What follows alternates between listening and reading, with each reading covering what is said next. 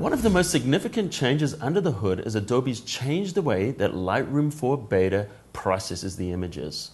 Uh, they've simplified the workflow and made it a little bit more intuitive. So if you're not used to it, you're going to notice some things are a little bit different, but they actually tie in a little closer to what you're used to with Photoshop. So without further ado, let's just jump in and let's have a look and see what we've got here. One of the big changes inside of Lightroom 4 Beta is the process version has actually changed. Um, so that means the way the raw files are processed is, is different than it was in the past. You'll notice that some of these controls have changed. Let me scroll down and I'll show you what I mean. So here we have the process version. Right now it's changed to 2012, which is the current version. 2010 is the one that was in Lightroom 3 and uh, notice you'll get this here because it's going to change the way the photograph looks when we change it. Notice there it changed a little bit. And uh, let's go to, there we are at 212 actually, we just updated. So there's the 210 or the 212. But let me show you on the 210. We scroll up to the top here, you can see we've got exposure, recovery, fill light, blacks, brightness, and contrast. All the controls you're used to. Now, when we go and we change this to 2012, there's a little bit of a change here.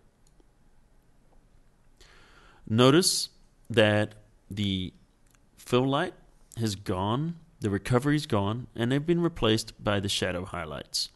Uh, brightness is gone, and the contrast been moved up here under exposure. So it's a lot simpler now. It's been uh, simplified so we can set our exposure and contrast here, and then we go in here and we can recover uh, detail and add uh, detail in the shadows and highlights of the photograph. So let's have a look at working with this new process version. The first thing you want to do is set your exposure. Maybe we'll give it a little bit brighter. And now I want to play around with the contrast, meaning do I want to have a lot of snap and punch, but losing dynamic range, or do I want to go back the other way, open it up, get more dynamic range, but lose the snap in the photograph? Well, I'm just going to increase it a little bit here. I'm going to push it there. And and really, you know, we can do a lot of this with the highlights and shadows anyway. But let's have a look. This is the highlight recovery. So if I pull it to the left, Notice in these areas of highlights here that these get recovered. We're pulling the detail back in. Shadows, same thing. This is what our fill light used to do. So if we go left, it brings more shadow. To the right, it opens it up. So what we've got there is very similar to what we had with our fill light and our recovery slider. And notice I pushed those pretty far because I'm going for just a kind of a, a cool kind of an effect here. So the next thing we've got our whites and blacks. Now the whites and blacks work just like the whites and blacks in levels in Photoshop. Notice the histogram is going over the edge there. That means a lot of the blacks have been clipped. So if we pull this and we go back this way, right there, all our blacks, the detail is now showing in our blacks. And we can do the same thing with our whites. Let's make them brighter or we can pull them back and notice we recover even more in our whites and uh, just by doing that because we've set that area. But it's kind of unnecessary. A little bit there. Let me pull it up. So we're about right there where we're just starting to get in there.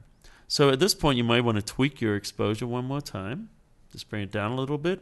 And let's bring up a clarity so we can give this thing a little bit more snap and punch. So let's look at this before and after. So you see we've been able to bring out our detail quite nicely here. And um, there's some other things too that have changed. Uh, one of the things that's changed is our brush here. Here's our local adjustment brush. We can turn that on. And you'll notice that we now have the ability to affect different things. We can change our color temperature right here. So now we can go in and we can do localized uh, color temperature. So if we've got mixed lighting, for example, we can go in there and we can manually paint the different areas for the white balance. Uh, we've got the exposure in here, of course is one of the options. And you'll notice we have the shadows and highlights in here as well, which is kind of nice. So we can do localized recovery or opening and closing of shadows and highlights in certain areas. So let's play around with this a little bit. What I'm going to do is I'm going to take the color temperature, I'm going to warm it up a little bit. And I'm going to go down here and I'm going to turn on the auto mask to make sure we mask this. And what I'm going to do is I'm just going to warm up this side here with the white balance. So let's just paint over here and I'm just warming up this part of the machinery. Now, why am I doing this? Because it just makes the rust look better. So, in in essence, we'd actually would be we're actually doing a warmer white balance here. And it's it's kind of nice. See, against the wall too, we might be able to do that a little bit because the wall was a little bit blue. So the white balance was slightly off. So the light that's hitting it there, we're just warming that up a little bit. So if we look at this before and after, you can see we've made some pretty significant changes. So anyway, I've got more videos I'm going to be doing later on where I get a lot more in depth into the new changes in Lightroom 4. But I hope uh, what I've got here is helping you dig your feet into the beta. And don't forget, check out photoshopcafe.com forward slash Lightroom to go to the Lightroom Training Center where I've listed out the new features and I have a little bit more detail in there. Plus, I'll be updating that as things go on. So thanks for watching.